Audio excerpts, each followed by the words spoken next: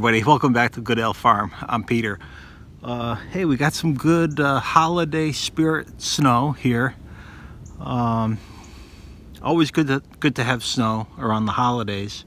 Uh, personally, I could do without it after uh, after the holidays. Just, uh, but anyway, thanks for tuning in. Uh, quick video today. Glad you're with me.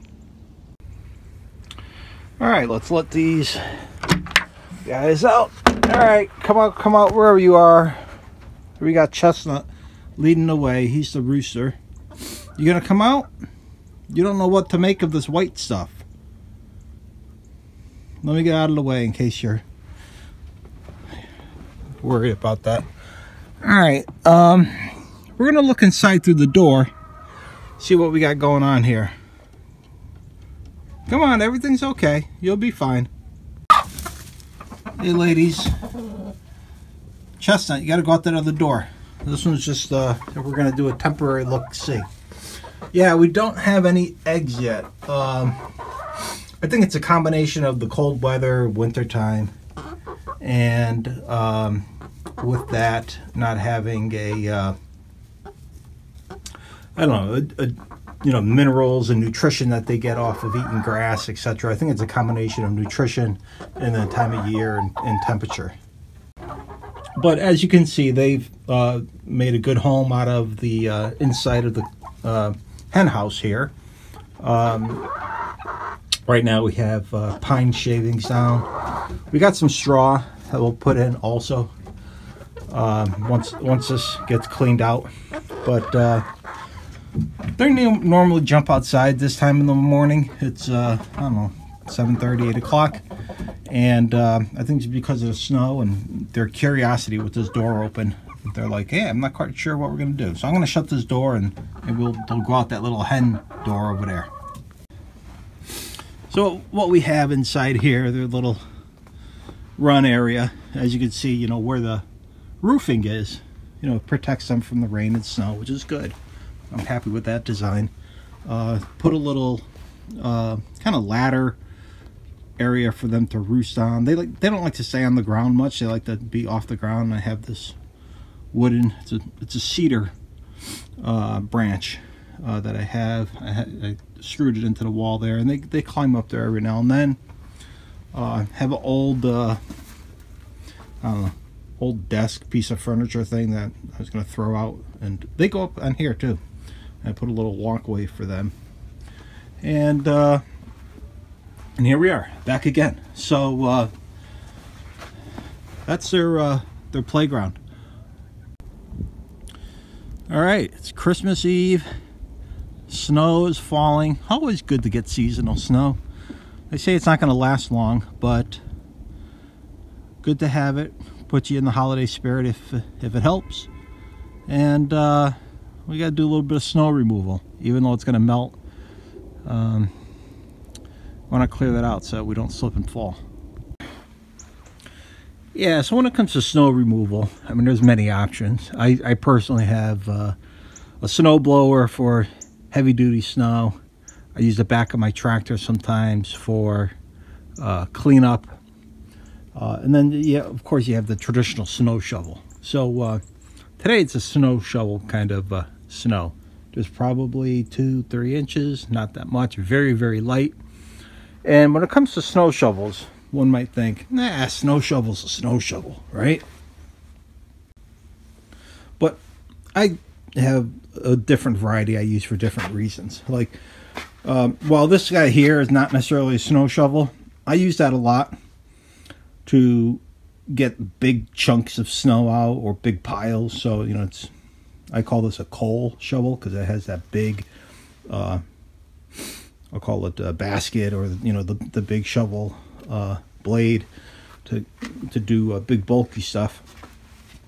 And then uh, you have a, a traditional, uh, I'll call it a flathead shovel with a solid straight handle.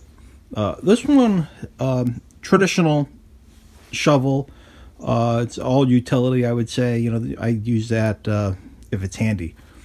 Uh, this kind with the scoop, I like this when the snow is light and you want to clear a lot of snow at once and you could push it, and then this barrel will actually push the snow in front in effect so that you could just kind of plow it into the side.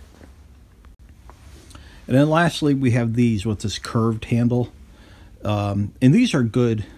It really saves on the back, on your back. If you're shoveling and you have to lift the snow, the way these handles are designed is that it's less bending on the back, less strain on the back. So um, I use these occasionally. I personally don't like that bent handle because it's just a pain to kind of deal with. So uh, today I think I'll use this yellow one here because uh, it'll do a uh, a good job quickly, and uh, we'll be on our way.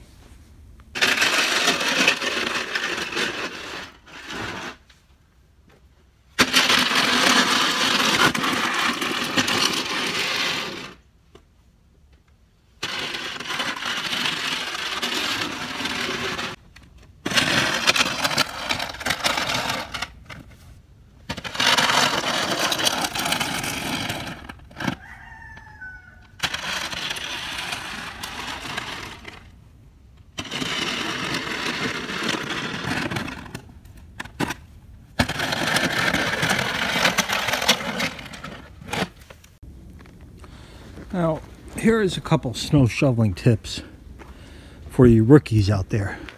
People who don't sh shovel snow a lot, or maybe just good reminders. A couple things I'd like to keep in mind. So, this driveway I have here goes uphill. And um, it's always easier or safer when you're shoveling uphill. Although the attraction is to push snow downhill, you want to be careful because it's more likely you're going to slip and fall when you're going down. I mean, you think about it. You ever hear of anybody falling up stairs? Actually, I think Biden did that, didn't he? But anyway. And a second tip I have is it's supposed to get warmer later. Snow's supposed to, the sun is supposed to come out. So when I push the snow, I push it where the sun is going to hit. Uh, the sun is behind me, uh, south facing, so um, it will be coming up over this garage area here. So this section is always shaded. So if I could get it out of there, it will get heated up by the sun if it's over this way and melt. If I left it over here, it's going to be there till like March. So that's what I always try to do is push it out of the way, push it where the sun is going to shine. And then also think about the future. If you're going to create a pile and you just keep adding to that pile, one snowstorm after another, it's going to get pretty uh, substantial. So um, think about where you're going to put the snow. And a couple other tips that I've come to find out over my years is I personally think the best time to take care of your snow is just when the storm is about to end or just when it finishes and passes over your location. And the main reason for that is that's when likely the snow's at the fluffiest point. It hasn't melted yet. It's easy to move.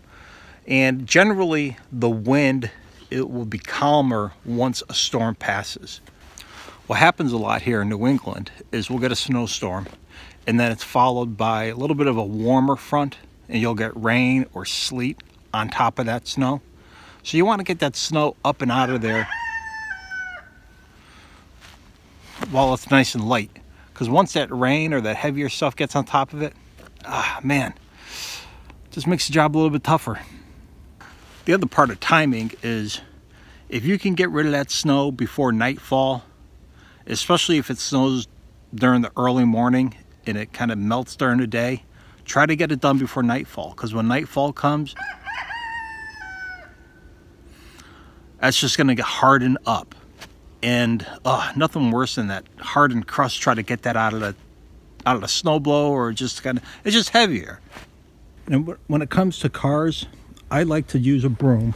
So I use this big heavy broom here to push all the snow, the, get the bulk of it off with the broom. And what I try to do is I push it to the side that it's easier to clear from. So you can see here, if I pushed it on this side here, I got a long distance to push that snow. So here on this car, I pushed it on this side here. And with all the snow on this side, I just got a shorter distance to flip it over onto the grass. And here's an important thing. Two points. One is always clear out right here by the windshield where your wiper blades are. Make sure that is like so clean you could eat off, eat off of it because this freezes easily. And chunks of ice, when they get in between your wiper arms or your wiper blades, your wiper blades get stuck to the roof. You start your car and your wipers are on, or mistakenly you put them on, forget about it. You're talking you're going to need new wipers, probably a new wiper motor. See a lot of repairs related to that. And then lastly, I'll say, is whenever possible, if you know it's going to snow, park your car in a spot that's most convenient. You may not park there all the time. Like for instance, if you want to, if you have a snow plow guy that comes by, clear the driveway. You know, put your vehicle up on the grass just for that one day. Not a big deal. Or like in my case here, I like to pull way off to the side so that if I did need to get the snowblower in here, I don't have to negotiate between my vehicle and this curb section over here. And the other piece about it is I put it up further this way because it's going to get the sun once the sun comes out. I could have easily parked it over here. It's going to be in the shade. It's going to be in my way. It's going to be a pain in the butt. Here, a little strategic thinking ahead of time. We're good. Many towns or municipalities offer free salted sand. Um, my town does. So what I do is I have, you know, I got one, two, three, four, five. Um, there might be something in that little one there, but I got a good, uh, call it three, three or four buckets of this stuff, and I replenish it. You know, I'll go through a bucket, uh, maybe a bucket and a half every every snowstorm, uh, simply because I got the hill, and I got different walkways that uh, don't get the sun.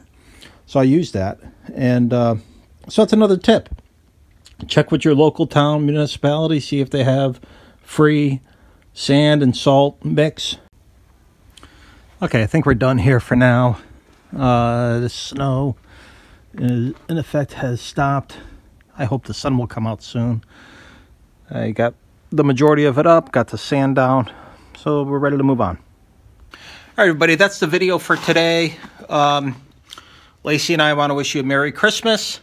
It's a Christmas Eve, and uh, I wanted to just do a quick video out there to say hello and show you the snow that we had. So, uh, hope you're having a great day, and until next time, thanks for tuning in.